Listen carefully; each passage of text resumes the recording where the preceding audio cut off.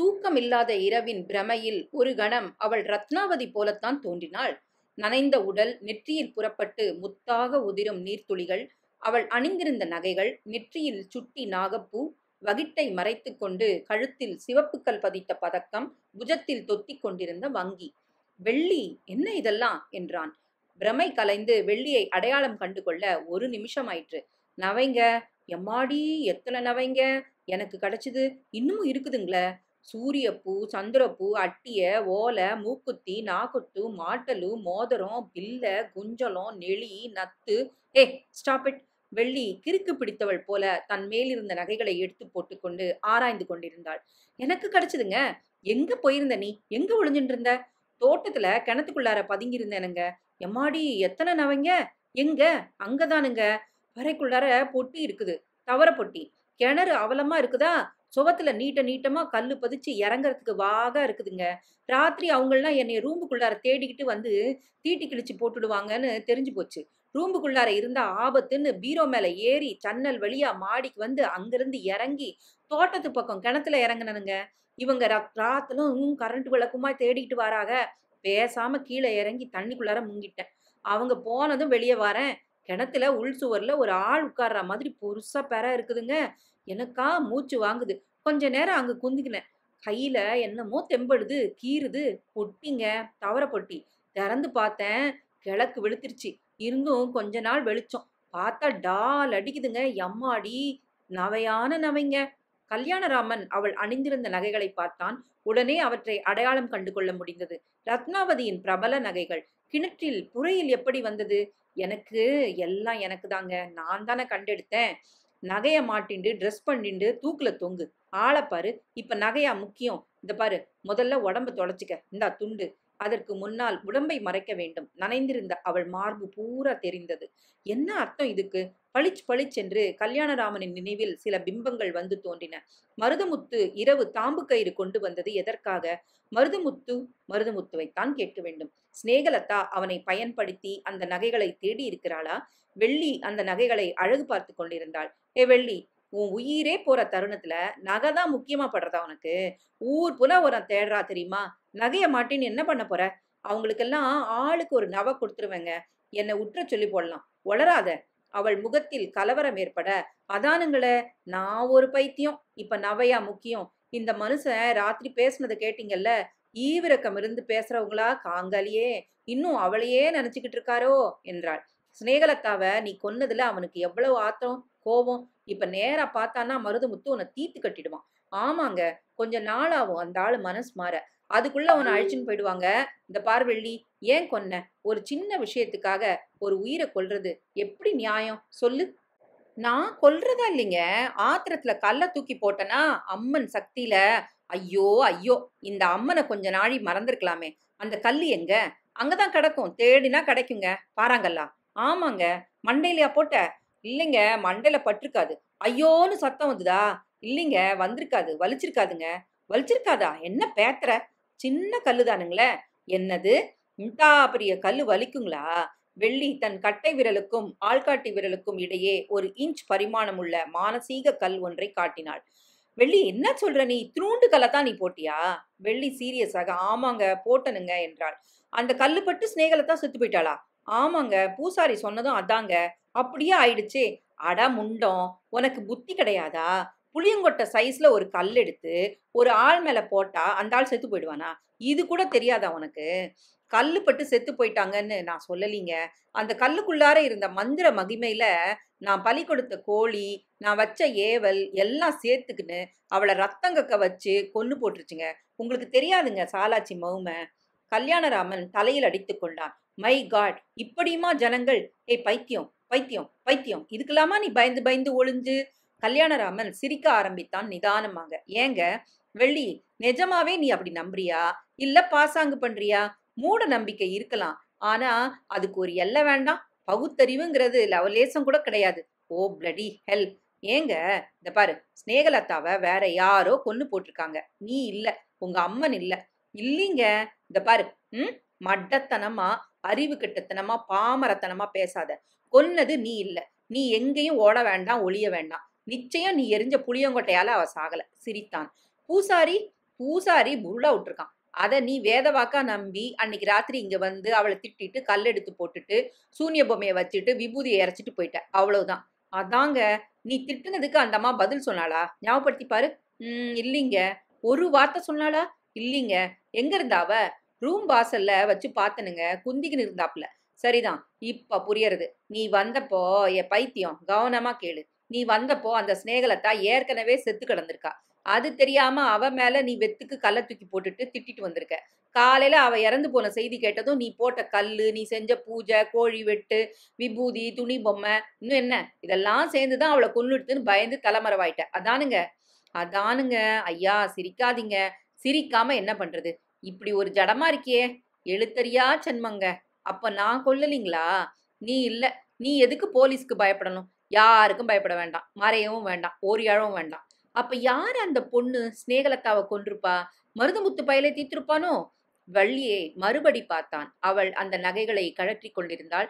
எனக்கு வேண்டாங்க. நகைகள். நகைகள் தான் ஸ்நேகலதாவின் மரணத்திற்கு ஆதார காரணம். அந்த நகைகளுக்குத்தான் வந்திருக்கிறாள். வெள்ளி எனக்கு அந்த நகைங்க எங்க இருக்குன்னு காட்டுவியா? காட்டுறங்க. வெளியே வந்தா ஒருத்தரும் உன்னை பிடிக்க மாட்டாங்க. என் கூட வா.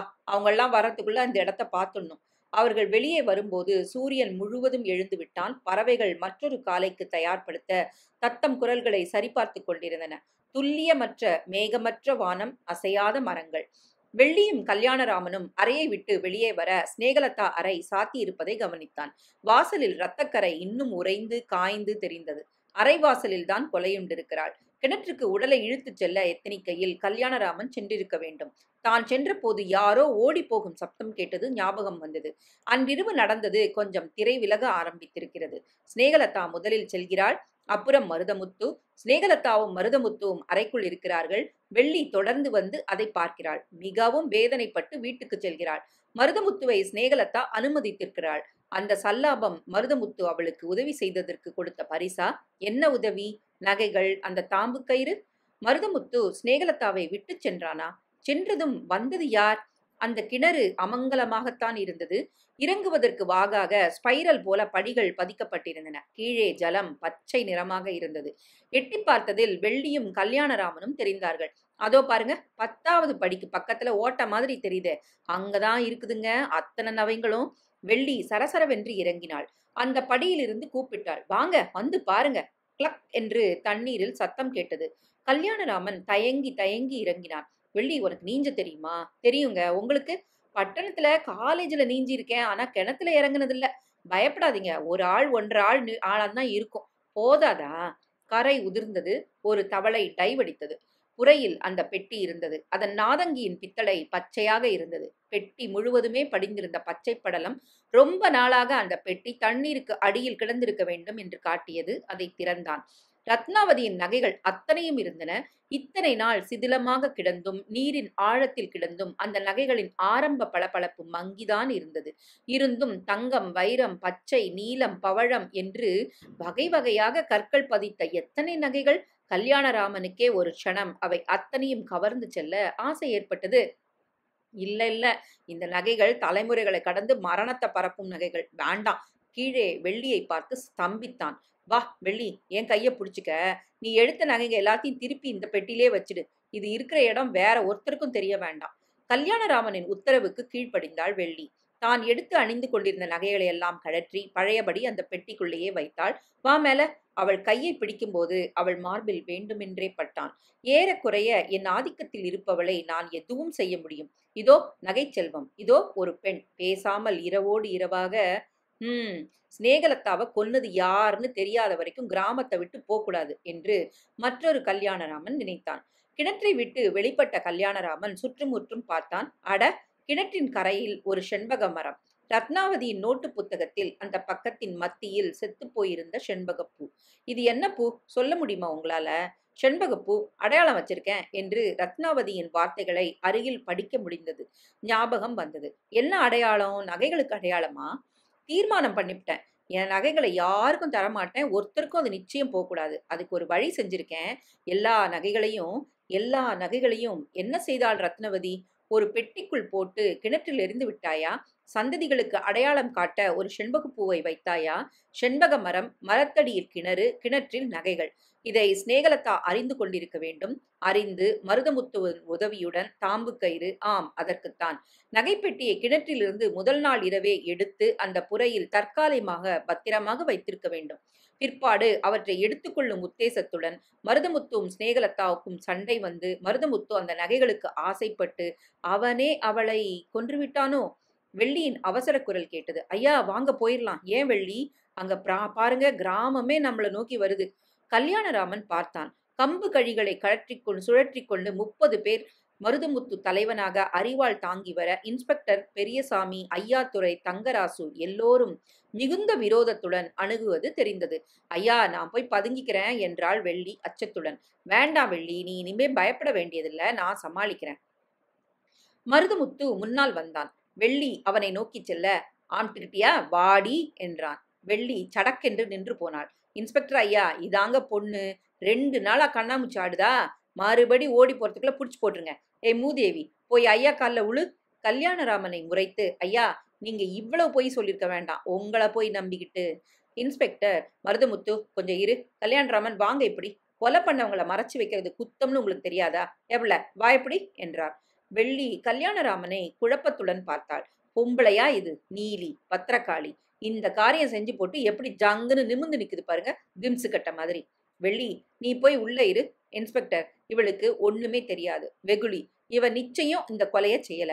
பூசாரி பேச்சை கேட்டுக்கிட்டு ஏதோ ஒரு சின்ன கூழாங்கல் எடுத்து போட்டு தான் கொன்னுட்டதா பயந்து தலைமறைவா இருந்திருக்கா. அதான் விஷயம். விசாரிச்சா தீர்மானமா தெரியும்.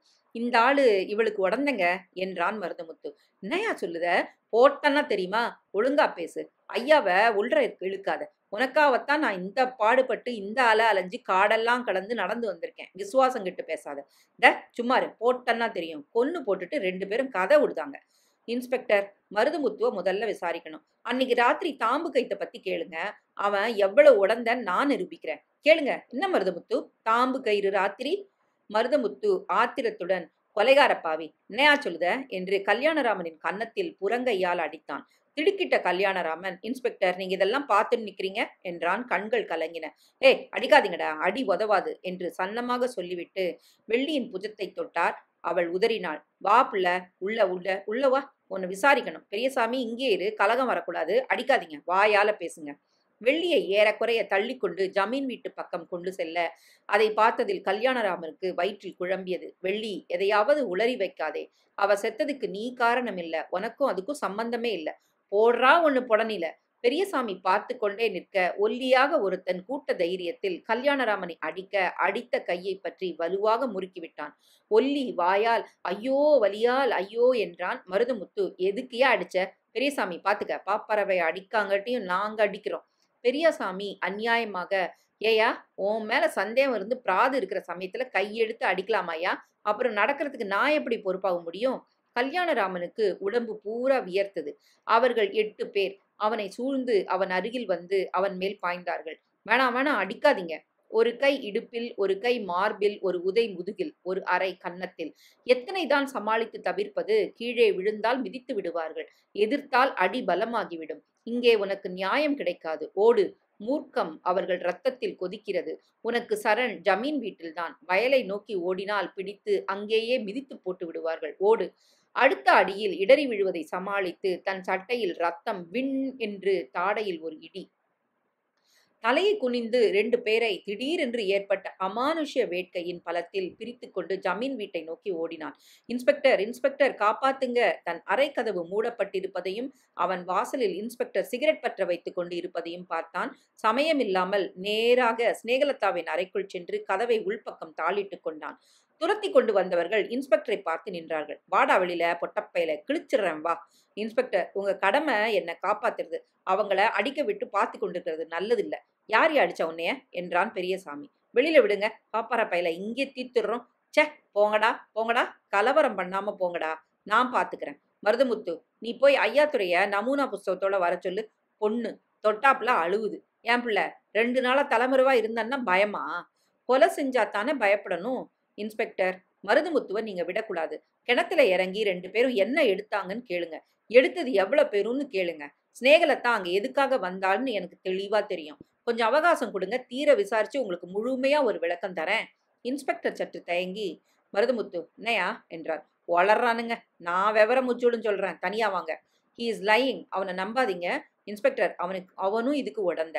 மருதுமுத்து ஒரு கல் எடுத்து ஜன்னல் மேல் எறிந்து உட்டன்னா பாரு என்று நாக்கை நீட்டி கடித்துக்கொண்டு அவனை அகட்டிவிட்டு நீங்க வாங்க என்றான். இன்ஸ்பெக்டரும் மருதமுத்துவும் தாழ்வாரத்தில் இறங்கி சிநேகிதமாக பேசிக்கொண்டு வெளியே நடந்து செல்ல எதிரே அறைக்குள் சிறைப்பட்ட வெள்ளி அவனை கலவரத்தோடு பார்க்க வெளியே வாடா என்று ஒருவன் வேஷ்டியை அவிழ்த்து பட்டை டிராயருடன் அசிங்கமாக நாட்டியம் ஆடி காட்ட கல்யாணராமனுக்கு மற்றொரு பயம் ஏற்பட்டது. இவர்கள் எல்லாருமே சூழ்ச்சி செய்கிறார்கள். நான் சொல்வதை நம்பப் போவதில்லை. தூரத்தில் இன்ஸ்பெக்டரும் மருதமுத்துவும் பேசுவது தலையாட்டுவதும் தெரிந்தது.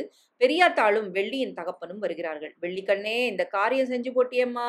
எம்மாடி எம்மாடி சீமை சீரழிஞ்சு சிறுமைகளா பட்டு என் பட்டு குஞ்சலத்தை போட்டு அழைச்சிட்டாங்களே கோட்டார் வந்து தீர்ப்பு சொல்லுவாங்களா? கூண்டில் அடைப்பாங்களா?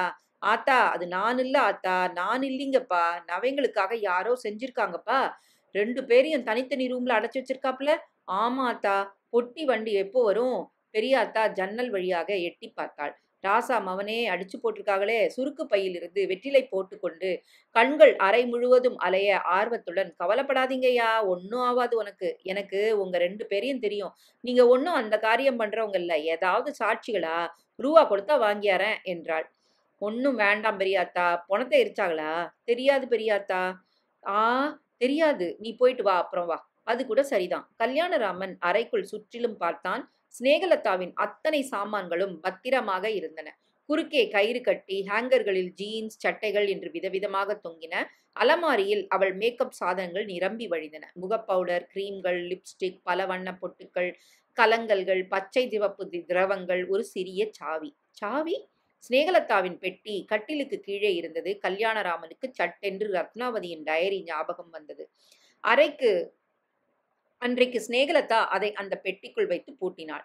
ஜன்னலுக்கு வெளியே பார்த்தான் அவர்கள் அங்கங்கே முடிச்சாக நின்றார்கள். பெரியசாமி கைக்குள் பீடி அடக்கி பிடித்துக் கொண்டிருந்தான். பெரியாத்தாளும் அப்பனும் வெள்ளியும் பேசிக் கொண்டிருந்தார்கள். பயப்படாதம்மா டவுன்ல பெரிய வக்கீலா வச்சிடலாம் கல்யாணராமன் பெட்டியை திறந்தான். புத்தகங்கள் ஒன்றிரண்டு சாரிகள் அட ஒரு போட்டோ ஆல்பம் நிறைய துணிகள் ஃபைல் போல் ஒன்று. எல்லாவற்றுக்கும் அடியில் ரத்னாவதியின் நோட்டு புத்தகம். அவசரமாக புரட்டினான். செண்பகப்பூ அடையாளம் வந்த அந்த பக்கம். அடையாளம் வச்சிருக்கேன். புரட்டினான். எங்க பாட்டிக்கு பாட்டி பரம்பரையாக கொடுத்த நகைகள் அழிச்சு புளிச்சு புழுதுப்புச்சு படித்தாகிவிட்டது. மேலும் புரட்டினான். எல்லா நகைகளையும் ஆம் அங்கேதான் விட்டேன். சேர்த்து பொட்டில அடக்கி ஒரு இடத்துல போட்டுட்டேன். அதுக்கான அடையாளம் வச்சிருக்கேன். இதான் அடையாளம். என் நகைகள் எல்லாம் அங்கேயே கிடக்கட்டும். சாமர்த்தியம் உள்ள ஜனங்க எடுக்கட்டும். இந்த மனுஷனுக்கு போகக்கூடாது. என்னை அடிச்சாலும் திட்டுனாலும் கொன்னாலும் வெட்டினாலும் நான் தடயம் தர மாட்டேன் எனக்கு என்னவோ இன்னும் ரொம்ப நாள் இருக்க மாட்டேன்னு தோணுது. என்னை இந்த மனுஷன் அணு அணுவா சாவடிக்கிறான். விசாலாட்சி முத்தம்மா என்னை கூட்டிட்டு போயிறேன். எதுக்காக இந்த அன்பில்லாத பிரதேசத்துல நான் வாழ்க்கை நடத்தணும்? ஐயா இந்த சமூகத்துல தங்க பிரஜைகளாக யாராவது யாராவது என் நகைகளை கண்டெடுத்தவங்க உண்டுன்னா அவங்க அத்தனை நகைகளையும் கையெடுத்து கும்பிட்டு கேட்டுக்கொள்றது ரத்னாவதி. அத்தனை நகைகளையும் என்னுடைய பேர்ல ரத்னாவதி பேரில் தர்ம காரியங்களுக்கு செஞ்சு போடுறது. இந்த குடும்பத்துக்கு இந்த நகைகள் போகவே கூடாது. ஒரு நாளும் கூடாது. அதுக்காகவே நகைகளுக்கு அடையாளம் காட்டுற இந்த புஸ்தகத்தை யாருக்கும் லேஸ்ல கிடைக்காத வகையில மறைச்சு வச்சிருக்கேன். எங்கேயாவது ஒரு மூணாவது மனுஷன் வேத்து மனுஷன் எப்பவோ இருந்து செத்த ரத்னாவதி புருஷங்கிட்ட ஒரு நாள் கூட சந்தோஷப்படாது உயிரை விட்ட ரத்னாவுக்காக ஒரு சொட்டு கண்ணீர்ல தண்ணி விட்டா போதும்யா போதும்யா ரத்னாவதி ரத்னாவதி ரத்னம் ரத்னம் ரத்தம். அருகில் செங்கல் சிவப்பில் இரத்தக்கரை.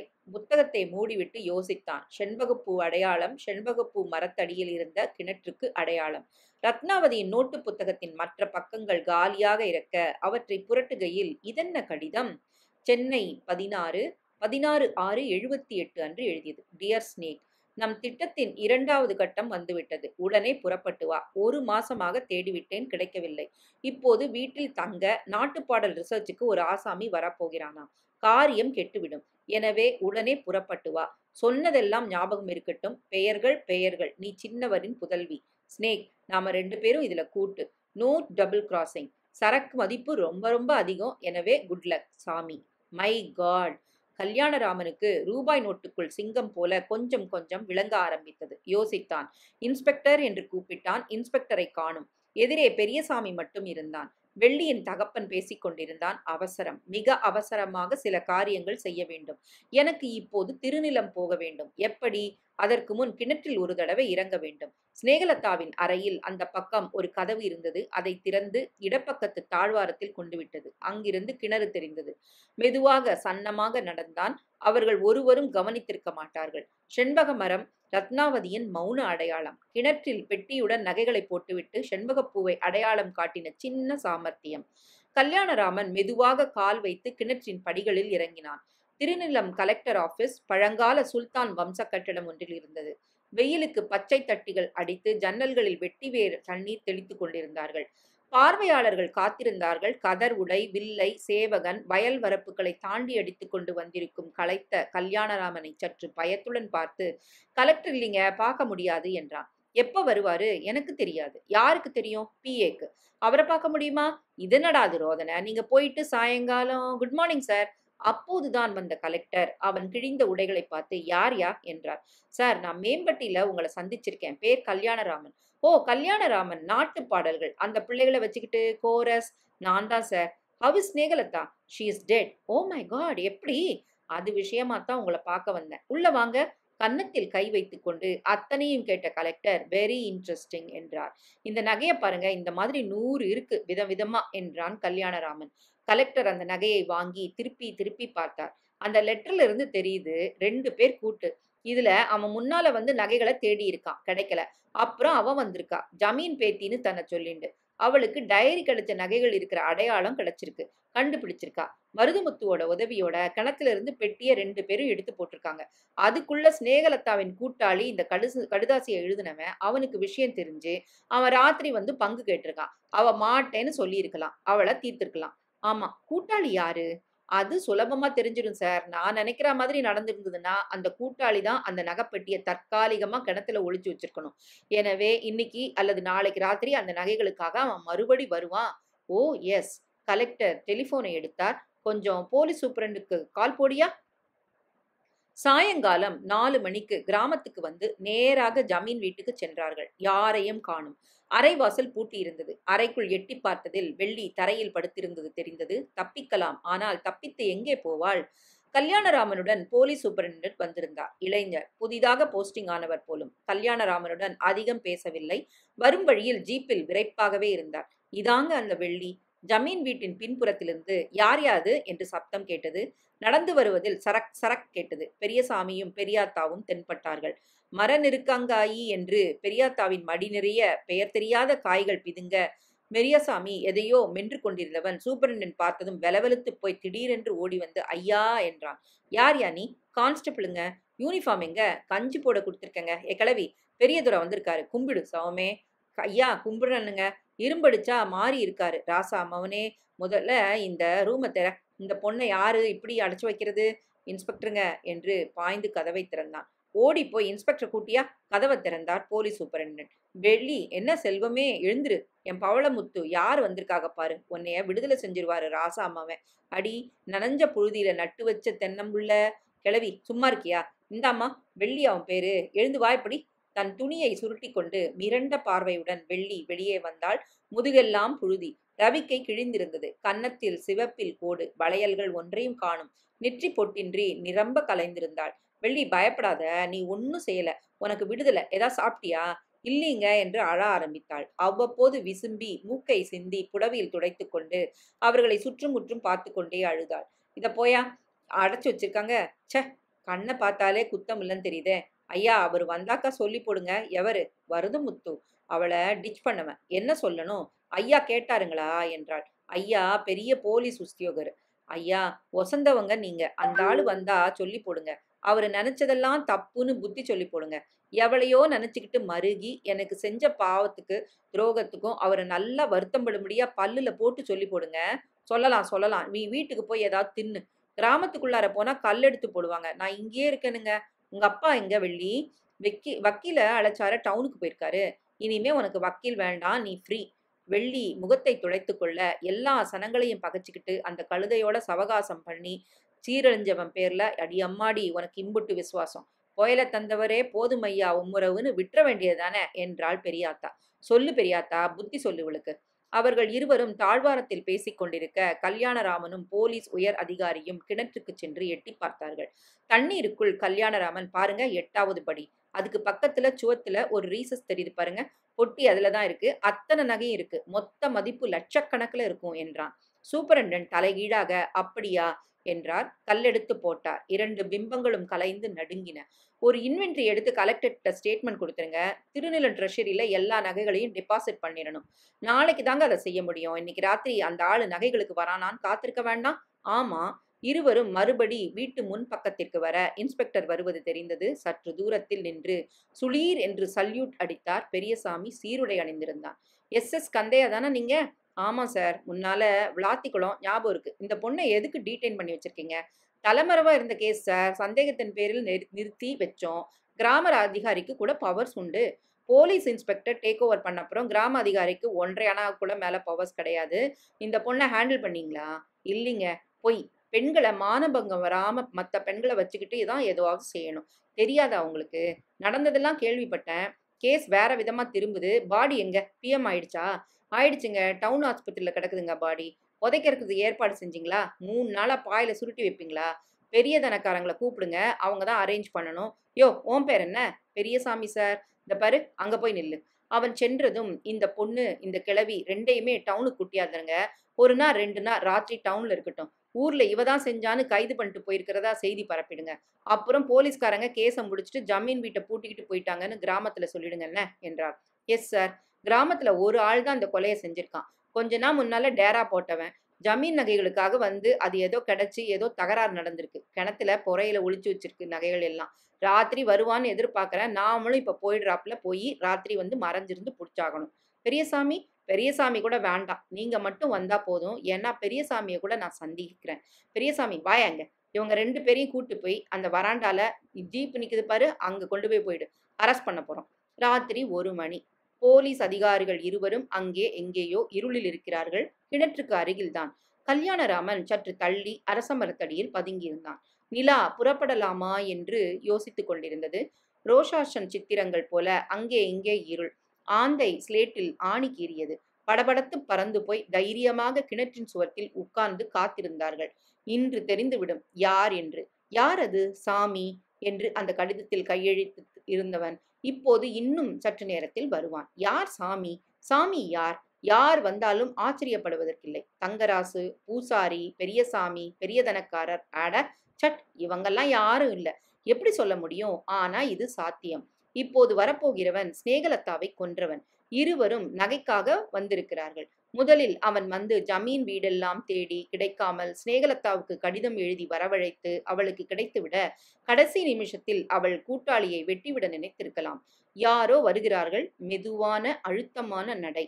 உலர்ந்த இலைகளின் மேல் கால் பதிய பதிய அவை பொடியாகும் சப்தம் தீர்மானமில்லாத அவசரமில்லாத நடை. கல்யாணராமன் மூச்சை பிடித்து இழுத்து கொண்டான். சுவாச சப்தம் கூட கேட்கக்கூடாது. ஓடிப்போய் விடுவான். அவர்கள் இருவரும் எங்கே? இருட்டில் அவன் வடிவம் மென் கருப்பில் சற்று அதிகமாக கருப்பாக நகர்ந்தது. சரக் சரக் சரக் கிரீச் என்று நெருப்பு குச்சி பற்ற வைக்கும் சப்தம் கேட்டது. கல்யாணராமன் மரத்தின் அகலமான மறைப்பிலிருந்து நகரவில்லை. ஜாக்கிரத ஜாக்கிரத. மெதுவாக அவ் உருவம் கிணற்றை நோக்கி செல்ல இன்ஸ்பெக்டர் எஸ்பி சார் நிதானம் அவசரப்பட்டுடாதீங்க. இப்போது குழப்பமான வடிவமாகத்தான் தெரிந்தான். நெருப்புக்குச்சி மற்றொன்று பற்ற வைத்து கிணற்றுக்குள் உற்று நோக்குவது தெரிந்தது. நெருப்புக்குச்சி அணைய மற்றொன்று ஏற்றி மெதுவாக கிணற்றின் கைப்பிடி சுவரின் மேல் ஏறி உள்ளே இறங்குவது தெரிந்தது. மெதுவாக இரண்டு போலீஸ் உருவங்கள் கிணற்றை சுவரை அணுகுவதும் அவர்கள் காத்திருப்பதும் தெரிந்தது. ஜாக்கிரத அவசரம் வேண்டாம். சற்று நேரம் சற்று நேரம் நிலா சுரத்து பெற்றது. மெதுவாக அவன் தலை கிணற்றின் மட்டத்திற்கு மேலே வர அவர்கள் இருவரும் பதுங்க அந்த பெட்டி சுவரில் படும் தகர சப்தம் கேட்க அப்புறம் குழப்பமான சில விஷயங்கள் நடந்தன. விடுங்க விடுங்க என்னை விட்டுருங்க எனக்கு ஒன்றும் தெரியாது. மழுக் என்று முட்டியில் அடிபடும் சப்தம். ஐயோ! பெட்டி உருளும் சப்தம். அரை விளக்கை போட்டு அவனை மூலையில் தள்ளி அவன் தலைமயிரை கொத்தாக பிடித்து நிமிர்த்தி இவனை பார்த்திருக்கீங்களா கல்யாணராமன்? கல்யாணராமன் அவனை நேராக பார்த்தான். இவனா? யார் இவன்? இவனை நான் எங்கேயோ பார்த்திருக்கேன் சார். எங்க? கொஞ்சம் இருங்க கொஞ்சம் இருங்க திருவிழாவில். ஏன் ஏன் அதுக்கு முந்தி இந்த மீச கலைஞ்ச தலை கண்களில் லேசா மை? O S. ஏய் நீ பயாஸ்கோப்பு பழனி ஆண்டு இல்லை? ஆமாம் அவன்தான் பெல்ட் ஹார்ட் காதில் பூ கால் சலங்க போதும் போதுமான கோட்டு.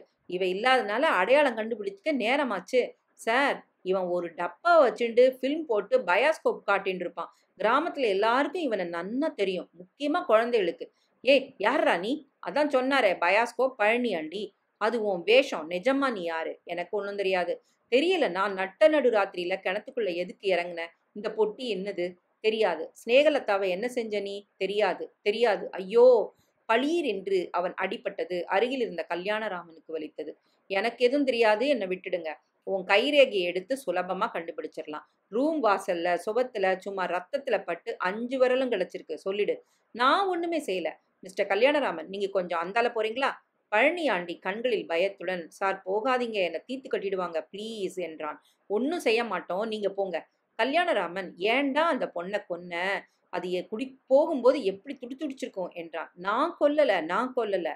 இவனோட வெட்டி பேச்சு பேசிட்டு இருக்காதீங்க. போய் கிராமத்தில் போய் எங்கேயாவது படுத்துருங்க. விடியறதுக்குள்ள விஷயம் வந்துடும். வாயா பயாஸ்கோப் பழனி ஆண்டி எந்த ஊர் உனக்கு? மேகலாபுரம். மேகலாபுரத்தில் எங்க? எந்த தெரு? மேட்டு தெரு. மேட்டு தெருன்னு மேகலாபுரத்துல கிடையவே கிடையாது. கல்யாணராமன் மெதுவாக ஜமீன் வீட்டை விட்டு விலகி நடக்க இப்போது பயம் தெளிந்திருந்தான். கிழக்கே மிக மெலிதாக வெளிச்சம் காட்டத் துவங்கியிருந்தது. பயாஸ்கோப் அவ்வப்போது அலறும் சப்தம் விலக பிரமிப்பில் நடந்தான். பட்சிகள் தத்தம் குரலை தீட்டிக் கொள்ள துவங்கின. குளத்தின் நிழலில் ஜமீன் கட்டிடம் லேசாக வடிவெடுக்க இரண்டு கிணறுகள் காத்த வீரியன் காரை குதிரை ஐயனாரின் இல்ல எல்லாம் தெரிந்தது. பலர் எழுந்து விட்டார்கள். தங்கராசுவின் வீட்டை நோக்கி நடந்தான். தங்கராசு உனக்கு கொஞ்சம் எனக்கு கொஞ்சம் தூங்கணும். வாங்க உள்ள. விடிய போதே. விடியட்டும். சின்ன ஜன்னல் வைத்த அறையில் நெற்குதி நெற்குதிருக்கு அருகில் கட்டிலில் படுத்திருந்தான். தங்கராசு மின் விசிறியை அமைத்து எல்லாம் சௌகரியமா இருக்கா? என்பதை கேட்டு முடிப்பதற்குள் தூங்கி போனான். கல்யாணராமன் எந்திரிங்க. ஆள் ஒப்புக்கிட்டான். ஜமீன்தாரு ஒப்பட்டிமவன் அவன். மின்விசிறி மெதுவாக சுழல சுழல கல்யாணராமன் கலெக்டர் பேசுவதை கவனித்துக் கொண்டிருந்தான். அருகில் போலீஸ் சூப்பரிண்டென்ட் இன்ஸ்பெக்டர் பெரியதனக்காரர் எல்லோரும் உட்கார்ந்திருந்தார்கள். பட்டும் படாததுமாக நாமம் அணிந்த ஒருவர் ஃபைலை கொண்டு வந்து சற்று சாய்ந்து கலெக்டருக்கு மட்டும் தெரியும்படி காட்டினார். மொத்த மதிப்பு இன்னைக்கு தேதிக்கு நாலு லட்சத்து சில்லற என்றார் கலெக்டர் அடே அப்பா என்றார் ஐயாத்துறை. பெண்டன்ட் ஒன்னே அரலகரம் பெறும் என்றார் இடுப்பில் பெல்ட் அணிந்த அந்த கிளார்க் கலெக்டர் ஆபீஸே என்னோடது என்றது அவர் பார்வை. அதுல இவருக்கு பங்கு கிடைக்குமா ஐயங்கார்? சார் எழுத்து மூலமா நோட்டீஸ் கொடுத்து ட்ரெஷரியில டெபாசிட் பண்ணிட்டார் இல்லையா? இவருக்கு பாத்தியதை உண்டு. எவ்வளவு பாத்தியதை? ரூல்ஸ் பார்த்து சொல்லணும் சார். பார்த்து சொல்லுங்க. இடுப்பு பெல்ட்டை உயர்த்தி கொண்டு அலமாரிக்கு சென்று அழுக்கு பச்சை நிறத்தில் ஒரு புத்தகத்தை தேர்ந்தெடுத்து பைஃபோக்கல் அணிந்து கொண்டு அதை பிரித்து பரிசீலித்து கண்டெடுத்த பொக்கிஷத்தை குறித்த ஆயிரத்தி எட்டு எண்ணூற்றி எழுபத்தி எட்டாம் வருஷத்து ஆகட்டும்படி ஆயிரத்தி தொள்ளாயிரத்தி ஐம்பதாம் வருஷம் மார்ச் மாதம் இருபத்தி நாலாம் தேதியுள்ள முன்னூற்றி ஐம்பத்தி எட்டாம் நம்பர் போர்டு நடவடிக்கை குறிப்புகளை படித்தா கல்யாணராமன் ஹோல்ட் இட் எனக்கு ஒரு பங்கு வேண்டாம் சார் ரத்னாவதியுடைய நகைகள் அது. அவ விரும்பினா மாதிரி அப்படி பார்த்தா எல்லா ஜமீன் குடும்பத்துக்கும் போயாகணும் என்றார் ஐயங்கார். இத புதையல்னு எப்படி சொல்ல முடியும்? ரத்னாவதி டைரியில தெளிவா குடும்பத்துல உள்ளவங்க யாருக்கும் என் நகைகள் போகக்கூடாது. ஏதாவது நல்லதா பொது காரியங்களுக்கு போகணும்னு எழுதியிருக்கா. என்னையா என்றார் கலெக்டர் டைரி எப்படி வில்லாக முடியும்? ஜமீன் குடும்பத்துல உள்ளவங்க மேஜிஸ்ட்ரேட் கோர்ட்ல பிராது போட்டுட்டா தகராயிடும். கல்யாணராமன் கலெக்டரை பார்த்தான். நகைகள் ரத்னாவதியுடையதுன்னு சொன்னதே அந்த டைரி தானே? கல்யாணராமன் நீங்களே டைரியை வச்சுக்குங்க. என்ன கேட்டா டைரியா எனக்கு தெரியாதே. அப்படி ஒன்றும் கிடையாதுன்னுட்டா அது சர்க்கார் சொத்தாயிடுது. பணத்தை மேம்பட்டியில பெண்களுக்காக ஒரு ஹை ஸ்கூல் ஒரு புது நூலகம்னு செலவழிச்சிடலாம். பஸ் ஸ்டாண்டை கூட கொஞ்சம் லாந்திடணும் சார் என்றார் ஐயங்கார். பஸ் ஸ்டாண்டா முதல்ல மேம்பட்டிக்கு பஸ் போகையே பாதி நான் மேம்பாலத்து ஸ்டாண்டை சொன்னேன். ஐயாத்துறை இங்க இறங்கித்தான் எங்க ஊருக்கு போறீங்க என்று அதட்டினார் குமாஸ்தா பொதுவாக ரெண்டு மூணு ப்ராஜெக்ட் சாங்ஷன் வாங்கி ரத்னாவதி பேர்ல செஞ்சிடுறேன். என்ன மிஸ்டர் கல்யாணராமன்? அதான் சரி சம்மதம் சார் இதுல ஒரு கையெழுத்து போட்டுறேளா? கல்யாணராமன் கையெழுத்திட கலெக்டர் திரும்பி எப்படி பிடிச்சிங்க ஹுசேன்? என்றார். சூப்பரண்டன்ட் இதோ கல்யாணராமன் தான் மூல காரணம். நல்லா ஹெல்ப் பண்ணாரு. முதல்ல கொஞ்சம் கேஸ் தடம் புரண்டு நம்ம இன்ஸ்பெக்டர் குட்டையை குழப்பிட்டாரு என்று சிரித்தார். அவன் பேர் என்ன சொன்னீங்க? சாமிநாதன் பெரிய ஜமீன் துறை ராஜராஜா. அவருக்கு ஊருக்கு ஒரு கீப்பு. அதுல ஒருத்திக்கு பிறந்தவன் மெட்ராஸ்காரன். டிராமால ஸ்டேஜ் லைட்டிங் அப்புறம் ஃபிலிம் ஆர்கெஸ்ட்ராவில் பேஸ் வாசிக்கிறது டூரிஸ்ட் பஸ் ஓட்டுறதுன்னு பல காரியங்கள் செஞ்சு ஆட்டை கடிச்சு மாட்டை கடிச்சு இங்கே வந்து சேர்ந்தானாக்கும். எப்படி வந்தான்? அவங்க அம்மா பிஏ செல்லப்பா டிபி ராஜலட்சுமி காலத்தில் நாடக நடிகையான் மோகன ரங்கம்னு. ப்ரூச் வச்சு ஃபோட்டோ காட்டினான். அவளுக்கு ரத்னாவதியோட நகைகள் பற்றி முழு விவரம் தெரியுமா அதை கொண்டு வந்து கொடுக்கறதா சத்தியம் பண்ணிட்டு தான் மோகன ரங்கத்தை வசப்படுத்தியிருக்கான் ஜமீன்தார். அவ தான் சொல்லியிருக்கா நகைகள் எங்கேயும் போகல ஜமீன் வீட்டில் தான் எங்கேயோ இருக்கு ரத்னாவதி வெறுப்புல எங்கேயோ புதைச்சோ ஒளிச்சோ வச்சுட்டு தற்கொலை பண்ணிட்டா நீ போய் தேடி பார்த்தா புதையல் கிடைக்கும்னு மகன்கிட்ட அடிக்கடி சொல்லியிருக்கா. அவன் ஆறு மாசம் முந்திலிருந்து மேம்பட்டிக்கு திருவிழால பயாஸ்கோப் காட்டுறவன் மாதிரி வேஷம் போட்டுக்கிட்டு வந்து தேடிக்கிட்டே இருந்திருக்கான் ஜமீன் வீட்டில் சுத்துப்புறத்துல. அந்த பொண்ணு இவனோட கூட்டாளி. கான்வென்ட் படிப்பை நிறுத்திட்டு சினி ஃபீல்டில் நுழைஞ்சு அடிபட்ட கேஸ். எதுக்கும் துணிஞ்ச கட்ட. அவன் அதை கூட்டு சேர்த்துக்கிட்டு இருக்கான். ரெண்டு பேரும் மெட்ராஸில் வச்சு பேசிட்டு இருந்திருக்கிறாங்க. நான் முந்தி போய் தேடி பார்க்கறேன் கிடைக்கலன்னா நீ வந்து சேரு. ஜமீன் பொண்ணு மாதிரின்னு விவரம் முழுக்க சொல்லி கொடுத்துருக்கான். அவள் தேடி பார்த்து நகை கிடைக்கலன்னு அப்புறம் அவளை கடுதாசி போட்டு வரவழைச்சிருக்கான் சார். சரிதான். கல்யாணராமன் என்ன யோசனை? கடுதாசியில் சொன் சென்னைன்னு போட்டிருந்தான். முதல்ல குழப்பம் ஆயிடுத்து. மற்றவங்களுக்கு ஊர் பேர் தெரிய வேண்டான்னுட்டு அன்னைக்கு ராத்திரி ஒரு அரை மணி முன்னால போயிருந்தா கொலை நடந்திருக்காது சார். பாவம் அந்த பொண்ணு. அவளை அவன் கூட கொண்டு இருக்க மாட்டான் கல்யாணராமன். ஒரு விதத்துல அவளோட பேராசை தான் அவ இறந்ததுக்கு காரணம். கெட்டிக்கார பொண்ணு சார். டைரியில இருந்த அடையாளத்தை வச்சு நகையில கிணத்துல போட்டிருக்கணும்னு சூடா யூகிச்சுட்டா மருதமுத்து பயல ஒத்தாசை களைச்சிக்கிட்டு போய் கயிறை பாதாள கரண்டி எல்லாம் போட்டு கிணத்துக்குள்ள பாதி இறங்கி அலைஞ்சு பெட்டி எப்படியோ புரட்டி எடுத்துருச்சு. சூரிங்க அந்த அம்மா என்றார் ஐயாத்துறை அந்த மருதமுத்து பெட்டியை பார்க்கலையா? அது ஏதோ குடும்ப பெட்டின்னு சொல்லியிருக்கா. பெட்டியை திறந்து காட்டியிருந்தா கூட மருதமுத்து கவனிச்சிருக்க மாட்டான். ஏன்? பெட்டியை கிணத்துல இருந்து எடுத்து கொடுத்தா ஸ்னேகலத்தான் அவனுக்கு கொடுக்க போறேன்னு சொன்ன பரிசு மேலதான் அவன் நினைப்பெல்லாம் இருந்திருக்கு. ஓ ஐ சி என்றார் கலெக்டர். அவர் முகம் சற்று சிவந்தது. பரிசை தந்தாளா? தராம? மறுநாள் ராத்திரி அதை பார்த்துட்டு தான் வெசனப்பட்டு வெள்ளி. அது வேற கதை என்று தலையாட்டினான் கல்யாணராமன். மருதமுத்து பொட்டியை எடுத்து கொடுத்ததோட சரி. ஆமா எல்லாம் முத நாள் ராத்திரி நடந்திருக்கு. ஆமா நடந்தது எல்லாத்தையும் சாமிநாதன் அதான் பயாஸ்கோப் பழனியாண்டி கவனிச்சிருக்கான். மருதமுத்து கிணத்துல இறங்குறதும் இது நிக்கிறதும் அவன் ஒரு பெட்டியை வெளியே எடுக்கிறதும் அதை எடுத்துக்கிட்டு ரெண்டு பேரும் ஜமீன் வீட்டை நோக்கி போறதையும் பார்த்துட்டான். அவனே மறுநாள் அவனை கூப்பிட்டு இதை பாரியா புதையல் கிடைச்சிருச்சுன்னு தானாகவே சொல்லுவான்னு காத்துட்டு இருந்திருக்கான். ம் அவளா? அத்தனை நகலையும் பார்த்து உடனே பேராசை வந்துருச்சு. அவனுக்கு எதுக்கு பங்கு தரணும்னுட்டு ஒண்ணுமே நடக்காத போல கம்முன்னு இருந்துட்டான் மறுநாள் ராத்திரி இந்த கொடா அமக்களம் எல்லாம் ஓஞ்சு அவ தான் ரூமுக்கு திரும்பி போன பிற்பாடு மருதமுத்து அவளோட இருந்துட்டு விலகின பிற்பாடு சாமிநாதன் அங்க போயிருக்கான் என்னம்மா நேற்று ராத்திரி ரெண்டு பேரும் கிணத்துல இருந்து பொட்டி எடுத்தீங்களே எங்க அந்த பொட்டி? அதுல என்ன இருந்ததுன்னு கேட்டா அவ பொட்டியா? எனக்கு தெரியாது. நீயே தேடி பார்த்துக்கோன்னாலாம் ரூம் பூரா தேடி இருக்கான். இல்ல. எங்கேயோ ஒழிச்சு வச்சிருக்க. எங்க சொல்லு சொல்லுன்னு அதட்டி இருந்துட்டு கேட்டிருக்கான். அவன் அசையல தெரியாது இல்லவே இல்லைன்னு சாதிச்சாலாம் அவன் கோபம் வந்து ஆள் ஐம்பது வயசாக இருந்தாலும் நல்ல பலம். பிடிச்சி கையை நெரிச்சு மடச்சி மின்னியை பிடிச்சி அடிச்சு திருகி சித்திரவதை பண்ணுகட்டி கேட்டிருக்கான். வலி தாங்காம கடைசியில அதை சொல்லிட்டாளாம். ஒரு பொந்துல நகைப்பெட்டி இருக்குதுன்னு. அவளை உலுக்கி தள்ளி இருக்கான். பின் மண்டியில விழுறப்போ எக்கச்சக்கமா மோதி அடிபட்டு பொசுக்குன்னு போயிட்டான் இவன் அதை எதிர்பார்க்கல. திகச்சு போயிட்டான். பாடி என்ன பண்றதுன்னு யோசிச்சு கிணத்துலயே போட்டுடலான்னு அதை தர தரன்னு இழுத்துட்டு போயிருக்கான். அப்பதான் கல்யாணராமன் அங்க வந்துட்டாரு. உடலை அப்படியே போட்டு ஓட்டான். அப்புறம் கேஸ் திரும்பி வெள்ளி மேலே சந்தேகம். அவளை அரெஸ்ட் பண்ணியிருக்காங்கன்னு செஞ்சு செய்தி வந்ததும் தைரியம் வந்து மறுநாள் இல்லைன்னு மறுநாள் ராத்திரிக்கு பொட்டிக்கு வந்திருக்கான் மாட்டிக்கிட்டான். ரொம்ப ஸ்ட்ரேஞ்ச் என்றார் கலெக்டர் சாபக்கேடு மாதிரி நகைங்க. ரெண்டு மூணு தலைமுறைக்கு காவு வாங்கிடுச்சு பார்த்தீங்களா ஐயாத்துறை ரத்னாவதி குடும்பத்தில் அவங்க பாட்டனுக்கு பாட்டன் வீடு நிலம் ஓக்கியத்துக்கு வாங்கி ஏமாத்தி ஏமாத்தி பலவேறு வவுத்தறிச்சலை கொட்டிக்கிட்டு சேர்த்த சொத்துல பண்ணி போட்ட நகைங்கன்னு சொல்லிக்குவாங்க என்றார். சேவகன் ஒரு சீட்டை கலெக்டரிடம் கொண்டு வந்து கொடுக்க பார்வையாளர் நேரம் வந்துருச்சு. கல்யாணராமன் அப்ப நிச்சயமா உங்களுக்கு இதுல பங்கு வேண்டாம் என்றார். நிச்சயமா வேண்டாம் சார் கொஞ்ச நாள் இருப்பீங்கல்ல ஒரு வாரத்துல திரும்பி மெட்ராஸ் போறேன் சார் ஏன் நாட்டுப்பாடல் ரிசர்ச் முடிஞ்சு போச்சா? அது எங்க? இப்பதான் ஆரம்பம்னு சொல்லணும். எனக்கு மேம்பட்டியில தேவையான நாட்டுப்பாடல் கிடைச்சு இன்னும் கூட இருக்கலாம். ஆனா ச- ஞாபகங்கள் என்னை துரத்துது. அந்த வீடு ஸ்நேகலதா வெள்ளி அனுபவங்கள். நான் போயிட்டு கொஞ்ச நாள் கழிச்சு மறுபடி வரலாம். அந்த வீட்டை மறக்க முடியாது. இன்ஸ்பெக்டர் எப்படியும் மிஸ்டர் கல்யாணராமன் கேஸ் நடக்கிறப்ப சாட்சி சொல்ல வந்துதான் ஆகணும் என்றார். தெரியும். நான் வரட்டுமா சார்? ரொம்ப தேங்க்ஸ். Best of luck. அப்புறம் சந்திக்கலாம். கல்யாணராமன் கலெக்டருடன் கை குலுக்கி விட்டு கிளம்பினான். திருநிலம் ஸ்டேஷனில் த்ரீ நாட் ஒன் இன்னும் வந்து சேரவில்லை. நீல நிற சூட்கேஸ் பிளாட்ஃபார்மத்தில் வைக்கப்பட்டிருந்தது. வெயில் கண்ணாடி அணிந்து கொண்டு கல்யாணராமன் நின்று கொண்டிருந்தான். கழுத்தில் கேமரா மாலை. ஐயாத்துறைக்கு பௌத்திர உப உபத்திரவம். அதனால் வரவில்லை. தங்கராசு வந்திருந்தான். நீங்க வந்திருந்ததுல எவ்வளவோ சந்தோஷம். நடுவுல தான் கொஞ்சம் எசகேடா நடந்து போய் மனத்தாங்கலாயிடுச்சு. எல்லாம் பொம்பளைங்களால. என்ன பெரியாத்தா? பெரியாத்தா வந்திருந்தாள். ராசா மவனே என்னையும் கூட்டி போயிறேன் நீ போயிட்டியானா? எனக்கு ஒரு புயலைக்கும் ஆளாக்கு அரிசிக்கும் மல்லி காப்பிக்கும் காசு தர போறாங்க. இந்த சிரிக்கி முழுவாம இருக்காளாம். பருத்தி கொட்டை ஆட்டி அஞ்சு காசும் பத்து காசும் சம்பாரிச்சுக்கிட்டு வந்து வச்சுக்கேன்னு கொடுத்தா நாதாரி முட்டைப்பாண்டியன் குதிரை தாண்டுதும் கடலன்னு. இந்த பாரு கிளம்பு. சும்மா இரு. ஐயாவுக்கு உங்க வீட்டு கவலை எதுக்கு? அப்படியே ரத்னாவதியை உரிச்சு வச்சிருக்குதான். பொட்ட கிளம்.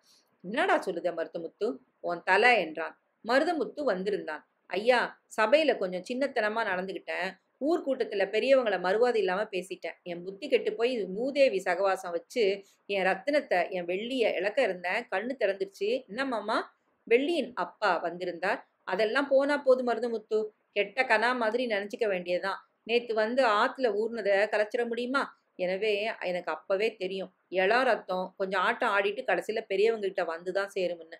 சொகுசான ஆளை கண்டா நாம போடாத கச்சமா ஆம்பளைன்னு பிறந்துட்டா இதெல்லாம் சாதாரண விஷயம் ஆயிடுதுல்ல அதுக்காக போட்ட பரிசத்தை கலைச்சிருவாங்களா? இல்ல கலைக்க தான் விட்டுருவாங்களா? வெள்ளி வந்திருந்தாள் மௌனமாக நிலத்தை பார்த்து கொண்டு நின்று கொண்டிருந்தாள். கல்யாணராமனின் மனமும் திரைக்குள் சரியான அப்பர்ச்சர் அமைத்து உன்னதமாக பிம்பத்தை தீட்டி சிறைப்படுத்தி கொண்ட கரிய தேவதை. என்ன வெள்ளி? உனக்கு இப்ப சந்தோஷம் தானே மௌனம். நீ விரும்பின புருஷன் உனக்கு கிடைக்க போறதுல உனக்கு சந்தோஷம் தானே வெள்ளி? மௌனம். வெக்கப்படுதுங்க. வெள்ளரிக்கா விற்க மாட்டா இனிமே. கீழே பார்த்து கொண்டே தலையை ஆட்டினாள் உத்ரோட்டத்தில் ஒரு மில்லி செகண்ட் சிரிப்பு. போட்டோ எடுக்கட்டுமா? ம் மறுபடி தலையாட்டல். என்ன ஞாபகம் வச்சுப்பியா? உங்களை மறக்க முடியுங்களா? இருயா அவ சொல்லட்டும். தலையை ஆம் என்று குனிந்து நிமராமல் ஆட்டினாள். பேச மாட்டியா? மௌனம். எப்படில வாயை திறந்து பதில் சொன்ன என்னவா? ஐயா கேட்குறாங்கல்ல கையில என்னங்க காயம்? என்றான். ஒரு பொண்ணு நகத்தால கீறிடுச்சு என்றான். வெள்ளி சட்டென்று நிமிர்ந்து அவன் கையை பார்த்தாள் முகத்தை பார்த்தாள். கல்யாணராமன் தன் வெயில் கண்ணாடியை நீக்கிவிட்டு அவளை நேராக பார்த்தான். அவள் கண்களில் ஈரத்திரை இருந்தது. மெதுவாக கண்ணீராக மாற சேமிப்பு நிகழ்ந்து கொண்டிருந்தது. வெள்ளியின் உதடுகள் மெலிதாக துடித்தன. ஏதோ சொல்ல விரும்புகிறாள். அவன் பார்வையில் புதுசாக சரக்கொன்றை மரத்தின் தொங்கின தண்டவாளத் துண்டை நீலச்சட்டை பல தடவை தட்டிவிட்டு பின் குறிப்பாக மூன்று தடவை தட்டினான். ஏதோ ஒரு செய்தி இருப்பதாக பட்டது கல்யாணராமனுக்கு. என்ன சொல்ல விரும்புகிற வெள்ளி? ஐயா நான் உங்களோட நேசத்தை இது வரைக்கும் முழுக்க முழுக்க புரிஞ்சாக்கா புரிஞ்சுக்காமலே இருந்துட்டேனுங்க. இப்ப நீங்க வான்னு ஒரு வார்த்தை கூப்பிடுங்க எல்லாத்தையும் விட்டுட்டு வந்துடுறேன். வெள்ளி எனக்கு தைரியம் இல்ல. உனக்கும் தைரியம் இல்ல. இப்போவே உன்னை பிருத்திவிராஜ் தனத்தோட கவர்ந்து போக எவ்வளவு ஆசையா இருக்கு தெரியுமா? தகடக் தகடக் தகடக் தகடக் மிக உயர்ந்த அரேபிய குதிரையின் வெள்ளியை இடுப்போடு வளைத்து தூள் பறந்தான் கல்யாணராமன். பேசஞ்சர் திருநிலத்தில் போனால் போகிறது என்று நின்றது. அடுத்த தடவை வர்றப்போ வெள்ளி கையில புள்ளையோட பாப்பீங்க. என்னடி வெள்ளி ராசவேலு. அது என்னடா அது? கமர்கட்டா? முதல் வகுப்பு பெட்டியில் கல்யாணராமன் ஏறிக்கொண்டான். மருதமுத்து பெட்டியை உள்ளே வைத்துவிட்டு சீட்டை தட் தட் என்று தட்டி மெத்தையெல்லாம் சௌகரியமா வச்சிருக்காப்ல இல்லை வெள்ளி இதை பார்ப்புல. வெள்ளி கிளம்பினான் திரும்பினான். கிளிக்! கடைசி ஞாபகத்துக்கு ஒரு போட்டோ. எக்கா என்னை எடுக்க சொல்லுக்கா? கார்டு விசில் ஊத மருதமுத்து இறங்கு இறங்கு. அவர்கள் பிளாட்ஃபார்மரத்தில் நிற்க நீ ரயில் நீராவி கக்களுடன் மெதுவாக நகர இப்போது கூட அவளை அப்படியே பற்றி இழுத்து தன் பெட்டிக்குள் சேர்த்து கொண்டு விடலாம். போயிட்டு வரேன் தங்கராசு மருதமுத்து பெரியாத்தா ராசவேலு வெள்ளி. சங்கிலி இழுக்கலாம். ரயில் வேகம் பிடிக்க வெள்ளி நின்று கொண்டே கொஞ்சம் கொஞ்சமாக பின் சென்றாள். கல்யாணராமனை வைத்த கண் வாங்காமல் பார்த்து கொண்டிருந்தாள். என்ன சொல்ல விரும்பினாள்? என்ன சொல்ல விரும்பினார்? முன்னோர்கள் உரைப்படியே முடித்துவிட்டேன் இக்கதையை. நன்றாக படிப்போரும் நவில்வோரும் வாழியவே.